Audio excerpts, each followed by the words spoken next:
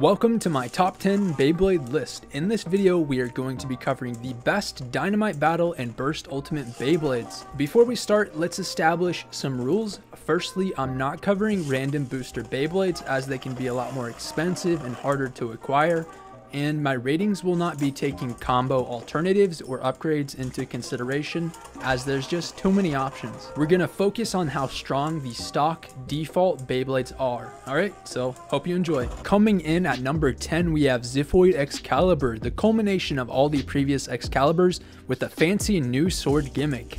You do not want to be on the receiving end of the sword attack from this fella. It hits harder than any other Beyblade at times, Unfortunately, it's just unreliable and inconsistent, which is why it's at number 10. Number 9, we have Ultimate Valkyrie, once again an evolution inspired by its predecessors.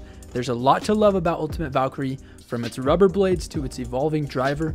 In the end, we have a solid Beyblade that is juiced up, however it falls a bit flat compared to the Meteor Beyblades. Sliding into number 8 is Greatest Raphael, a bit of an outcast when it comes to Beyblades. Someone at Takara Tomy thought it was a good idea to slap a bear trap onto a Beyblade, and darn tootin' were they onto something with it. It's a powerhouse but rather narrow with its abilities. Luckily, the Extend Plus driver carries this bay to the finish line. Exploding into number 7, we're looking at Dynamite Belial. I was a bit surprised at this one as I'm not the biggest fan of Dynamite Belial, but oh boy oh boy does this bay hold its own in a fight. I have no idea how, but it goes toe to toe with beefy bays. It's a jack of all trades, but a master of none. That's how I view this guy. Moving on to number 6, we have Divine Belial. So everything I just said about Dynamite Belial, yeah, it's like that but even better. By that, I mean it has insane burst power. It will destroy other attack types with a massive hits. Plus a small personal bias, I think it just looks way better. Bouncing into slot 5, we got Vanish Fafnir. This rubbery little fella doesn't look like much in battle, I know, but give him a chance and with some good strategy, you have a Beyblade that sneaks small wins, which really isn't my style, but for some people, it's one heck of a Beyblade. Moving on to number 4, we have Gatling Dragon, and let me tell you, Gatling is not the right name for this Beyblade. Tank Dragon, Bomb Dragon, Giga Dragon, something that entails just how freaking tanky this beast of a Beyblade is. It absorbs hits like a champion. Good luck knocking this guy out of the stadium. At number 3 is Guilty Longinus. I'm convinced this is the most consistent Beyblade for heavy KO hits.